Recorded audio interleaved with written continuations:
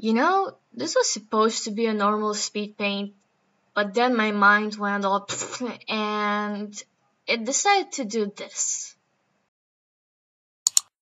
Hey guys, Pamps here. If you're new, I do Pokemon Daily. I started with Bulbasaur and I'm probably going to finish with whichever is going to be the last one in Pokemon Sun and Moon. And today is day 54 and we're drawing Psyduck. Psy duck. Yeah, I'm really sorry. This speed paint was supposed to be about Psyduck reading a book, you know, something comical because Psyduck is supposed to be like uh, confused and doesn't have a brain. But then I went on a walk, and all I saw in my head was Psy duck. And what did that remind me? Of Psy, of course. So I'm really sorry for this terrible, terrible idea I got, uh, but I really had to draw it. So I hope you like today's speed paint. So it's, of course, it's inspired by Psy, the pop dance person guy. You can see him on his right. You, you all know him.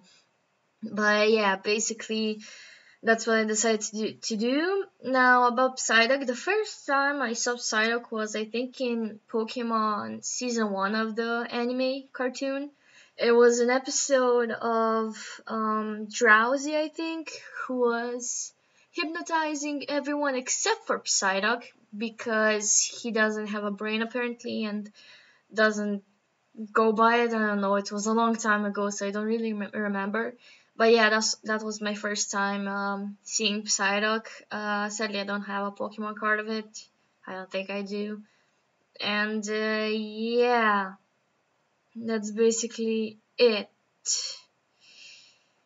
You're also going to see that I drew him on water. So another thing I kind of gave to his personality here is that he's so cool that he can also dance on the water. So he's like a Pokemon Jesus now. He's he's even better than Arceus now. So there's that.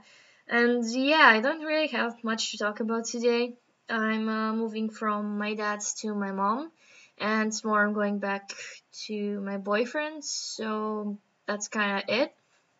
Um, like I said I, in the previous videos, follow me on Twitter because I post I think almost daily like animation sketches that I do because uh, I'm practicing and stuff. So if you want to see those before I post them here which will probably be a little while because I think there's like 11 practice examples practices I need to do.